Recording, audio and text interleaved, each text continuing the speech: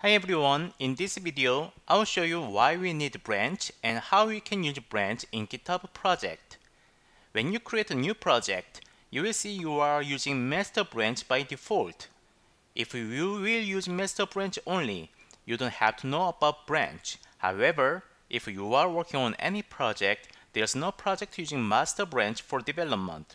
Let's take a look why they don't use master branch for development. Let's suppose we are in the master branch has two Java file. If we draw a diagram, this is the our situation. Our junior developer whose name is Dave is working on the master branch. Let's suppose Dave updated a.java file and pushed his update to master branch. And unfortunately, his update caused build failure in entire project. When the other developers pull the latest code from the master branch, they will face the build failure and they cannot start new task until the junior developer fix failure from his update. That said, working on master branch can hold entire developers for a long time. The junior developer will get many questions for example did you have code review or did you at least check the build failure before pushing the code. This is not good situation Actually, this can happen any developer if the project only uses the master branch. This should be resolved by using git branching concept. Branching is creating my own project from current project. Because it is my own project, any push remove will not affect to other members in a team. Even if you push the code will cause compile error to your branch because the other members are using other branches, it doesn't stop other developers.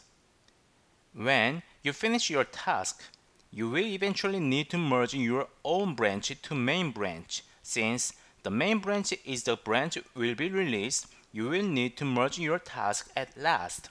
To merge your branch, you will send merge request. The most favorite part of merge request is the code review. If developer A requests the developer DB, the developer B should do the code review. The developer B will leave comments where the code should be changed and the developer A will update his change until developer B accepts the entire code.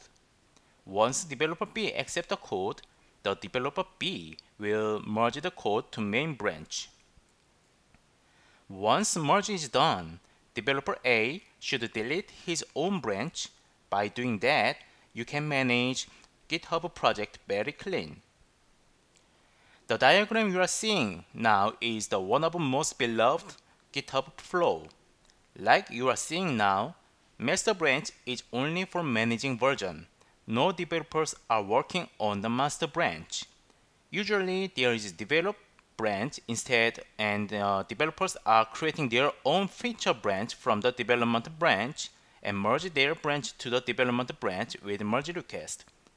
Once merge is done, they delete their feature branch. When releasing product, version branch will be branched out from the development branch.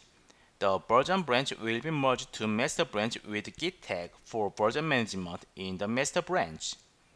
If only if there is need hotfix in the live release version, the hotfix branch can be branched out from the version branch, and the hotfix can be merged to the version branch and the development branch both. Thank you for watching video. I hope this video helps you to understand Git branching.